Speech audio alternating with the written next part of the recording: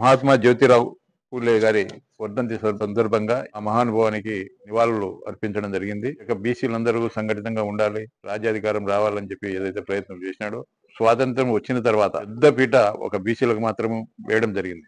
Party పదవులు ఇచ్చిన తర్వాత కృష్ణయ్య గారు బీసీ పీదా మస్తాన్ రావు గారు ఒక బీసీ మోపిదేవి వెంకటరమణ గారు. మరి ఈరోజు తెలుగుదేశం పార్టీ అధికారంలోకి వచ్చిన తర్వాత రాజ్యసభ మెంబర్లు ఇస్తే ఈరోజు వాళ్ళ పదవులను కూడా వదులుకొని కేవలం ఏదో ఆ వంద కోట్లు రెండు వందల కోట్ల కోసం ఈరోజు వారి యొక్క జీవితాన్ని నాశనం చేసుకోవడం జరిగింది.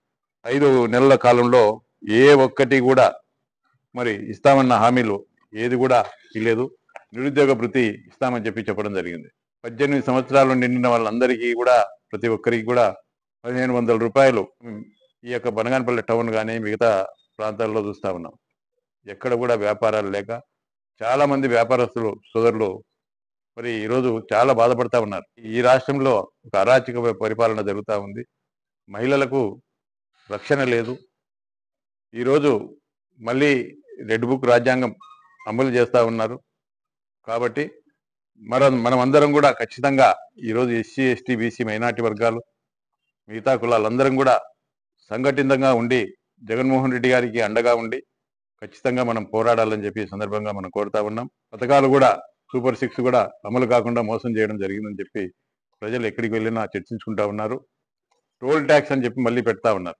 మనం రోడ్డు మనము ఇంటి నుంచి బయటికి వెళ్తే కూడా ఖచ్చితంగా ఆ రోడ్డు ఎక్కితే ట్యాక్స్ కట్టే విధంగా కూడా మరి ఈరోజు ప్రభుత్వం మళ్ళీ ఈ యొక్క చట్టం కూడా తీసుకురావడం జరుగుతూ ఉంది. అదేవిధంగా ఈరోజు ఎన్నడూ లేని విధంగా విద్యుత్ ఛార్జీలు మరి ఈ నెల తొందరలోనే ఒక నాలుగైదు రోజుల్లో విద్యుత్ ఛార్జీలు కూడా పెరగబోతా ఉన్నాయి. ఈ యొక్క విద్యుత్ బిల్లులు చూస్తే షాక్ కొట్టే పరిస్థితులు వస్తూ ఉన్నాయి కాబట్టి మెడికల్ కాలేజీని తీసుకొని వస్తే ఈ రోజు ఆ పదిహేడు మెడికల్ కాలేజీలు కూడా ప్రైవేట్ పరం చేయడం జరుగుతూ ఉంది. రాబోయే కాలంలో వైఎస్ఆర్ పార్టీకి అండగా ఉండి మరి ఏ కార్యక్రమం నిర్వహించినా బీసీ సోదరులందరూ కూడా సంఘటితంగా పోరాడాలని చెప్పి ఈ సందర్భంగా కోరుతా